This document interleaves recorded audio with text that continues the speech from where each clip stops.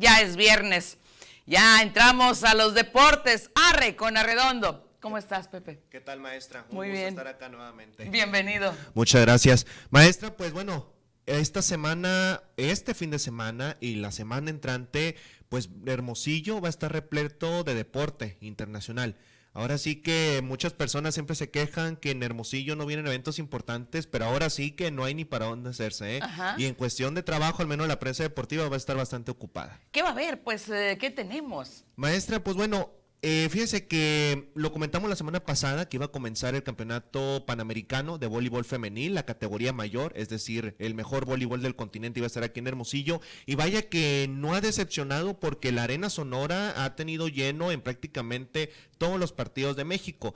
Y lo importante es que este evento que termina ya este domingo, pues hoy son cuartos de final. México va contra Puerto Rico, va a buscar el boleto a las semifinales. La verdad de un evento que ha sido eh, complicado, ha sido difícil para la selección mexicana, pero que ha logrado resolver. Venció 3 a 0, 3 sets a 0 a Nicaragua, eh, le ganó 3-1 a Cuba, perdió 0-3 contra Colombia. Colombia que ha sido, pues bueno, la revelación que viene siendo de las favoritas junto con República Dominicana y Estados Unidos que la verdad vienen haciendo un torneo impresionante. Y ayer le ganó 3-0 a Canadá en un partido la verdad bastante emotivo porque si algo está demostrando la afición en Hermosillo y a título personal pues me sorprende que yo no sabía que el voleibol enganchaba la afición pues se ha metido bastante contra las rivales, eso sí, con mucho respeto, eh, pero han presionado y han logrado que México pues bueno llegue a estos cuartos de final. Hoy a las 8 de la noche, eh, todos los todos los días hay partidos desde las 2 de la tarde a las 2, a las 4, a las 6 y a las 8. Y ahora le va a tocar a México ante Puerto Rico. eh, pues bueno, buscar esta boleta a las semifinales y esperar, pues si puede conseguir el campeonato de este torneo panamericano. Excelente, excelente. Qué bueno y sobre todo qué bueno que haya público para este deporte y eh, pues que se mantenga y se fortalezca, ¿no? Sí, hablando que la Arena Sonora tiene por ahí una capacidad de 2.500 aficionados aproximadamente, pues sí, si la gente quiere ir, sí se le recomienda pues buscar sus boletos con anticipación porque se está llenando desde el tercer partido, desde las 6 la- de la tarde en adelante, ya es complicado poder conseguir boletos. Órale, bueno, pues ahí está, es un buen dato, sobre todo ya el viernes, sábado se presta más, pues porque Claro. entramos en, en relax del fin de semana. Sobre todo sábado semifinales y domingo ya la final de este evento, ¿no? Y en lo que va a iniciar el día de hoy, y México por supuesto va a tener participación, es el Mundial Sub-15 de béisbol. Este torneo que es semillero de grandes estrellas del béisbol, pues va a ser también aquí en Hermosillo. Ya fue la inauguración a las, bueno, el primer partido, la ceremonia de inauguración es antes, por ahí de las 6, 7 de la tarde, pero hoy a las 10 y media, simultáneamente en el Estadio Héctor Espino y en el Estadio Sonora, ya se jugaron los primeros partidos. México va a estar compartiendo grupo, nada fácil, por cierto, contra Cuba, China, Taipei y República Checa. En este torneo van a estar participando 13 países, eh, pues los habituales de siempre, ¿no? Los que son potencias, Estados Unidos, eh, Venezuela, algunos países más exóticos como Sudáfrica, el propio, no sé si usted sabía, maestra Soledad, había escuchado sobre Guam, una islita, eh, que no es país, se maneja como país, pero es más bien un territorio no incorporado a los Estados Unidos. Pues bueno, de estos rivales exóticos que le ha tocado venir, va a estar jugando acá en, Hermos- acá en Hermosillo y pues va a ser una, una sorpresa ver este equipo. ¿Por qué es importante este Mundial Sub-15? Van a decir, ay, son niños menores de 15 años, ¿qué tiene- llama la atención? No. En el 2012 lo jugó Luis Urias. ¿Dónde está Luis Urias ahorita? Ajá. Actual jugador de grandes En ligas, Grandes Ligas, con claro. cerveceros de Milwaukee. En 2014 lo jugó Isaac Paredes de Hermosillo. ¿Dónde está ahorita? Actual jugador de grandes ligas con De Tampa Bay. Es decir, los muchachos que ahora vemos a la vuelta de unos de 5 a 10 años pudieran ser estrellas en grandes ligas. Entonces vamos a a poner mucha atención de qué ofrece México en ese torneo, pero bueno, va a ser toda la semana hasta el domingo 4 de septiembre que se dispute la final en el Estadio Sonora. No, y sobre todo porque pues hay que fortalecer el desempeño o el desenvolvimiento de, de- de los, de los niños, niñas en el deporte. Finalmente son, son eh, eh, el futuro y son o serán las estrellas en el futuro. Así es, eh, la inauguración la recordamos hoy a las siete y media de la noche, México contra Cuba. Y bueno, México que recibe otro Mundial de Béisbol el año pasado a finales. Por ahí más o menos en octubre recibió el Mundial Sub-23. México se lleva el subcampeonato. En el Mundial Sub-15, México ha sido un recurrente anfitrión. eh, lo ha recibido ya en varias ocasiones,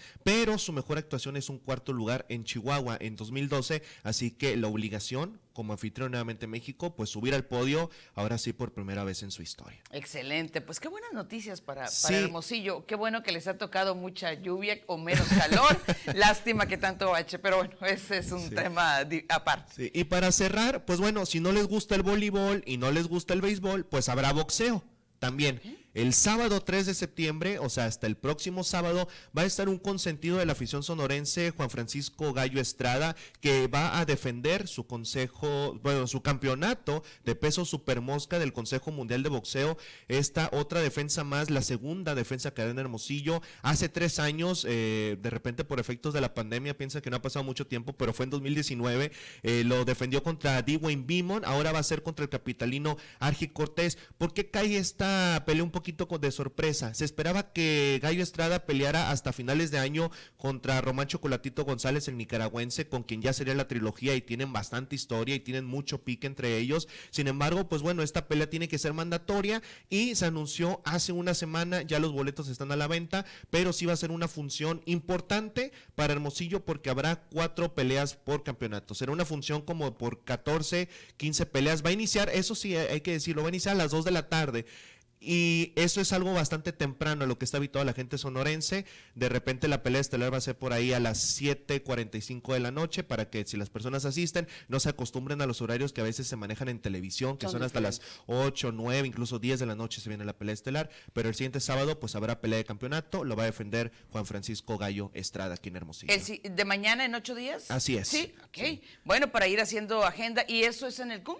Así es, sí, en el CUM va a ser ahí la, pelea. Argi Cortés, bueno, Juan Francisco Guerra Estrada, 42 victorias, 28 eh, por la vía del knockout. Argi Cortés, también más joven, 23 peleas, 10 por la vía del knockout. O sea, no va a ser un rival fácil. Si lo pierde el campeonato Gallo Estrada, aguas, porque esa trilogía contra Chocolatito González se va a ver sumamente afectada. Bueno, y la verdad también para el box hay mucha afición, ¿verdad? Sí, siempre que hay una, una función importante se llena. Cuando hubo la pelea contra Dwayne Beamon en 2019, que también fue otra la segunda defensa de Gallo Estrada, si no me equivoco, eh, hubo una entrada aproximadamente unos nueve mil, unas nueve mil personas.